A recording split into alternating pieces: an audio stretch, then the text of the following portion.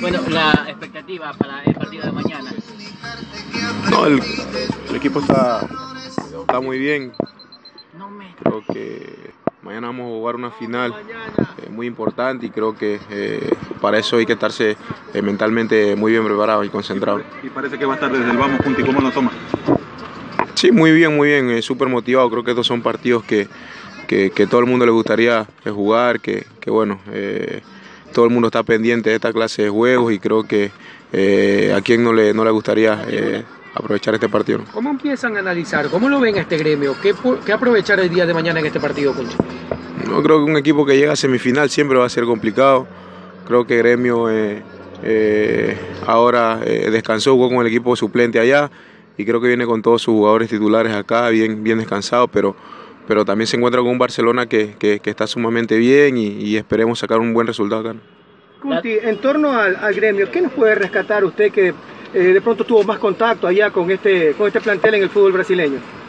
Sí, sí, tuve la oportunidad de jugar un partido con Gremio y, y los jugadores que tienen la mitad para adelante son, son, son muy complicados. Creo que eh, el fútbol brasileño siempre se caracteriza así por jugadores que son eh, ricos en técnica. eh, y por ahí, por ahí creo que eh, tienen excelentes jugadores de la parte de, la- de adelante y, y creo que por ahí la defensa tiene que estar sumamente concentrada. Son 180 minutos. ¿Qué aprovechar en estos primeros 90 que se jugarán este miércoles en el Monumental Punti?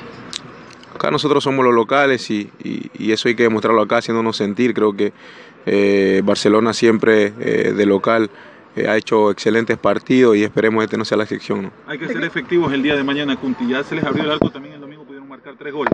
Sí, sí, obviamente. Creo que este, este es un equipo que, que- que- que tiene, que tiene jugadores que hacen goles y, y lo hemos venido demostrando. Eh, lamentablemente por ahí en el, en el campeonato local no se nos han dado los resultados, pero eh, en la Libertadores va a ser otra cosa. Esperemos eh, eh, las oportunidades que tengamos marcar y, y estar tranquilos. Marca personal para Lucas Barrio. Yo creo que es un jugador con, con mucha experiencia y tiene mucha movilidad eh, y, y va a ser, y va a ser eh, un trabajo muy, muy fuerte para, para el que toque estar ahí. Eh, hay que estar, como te digo, sumamente concentrado y tratar de contrarrestar el juego de ellos. ¿no?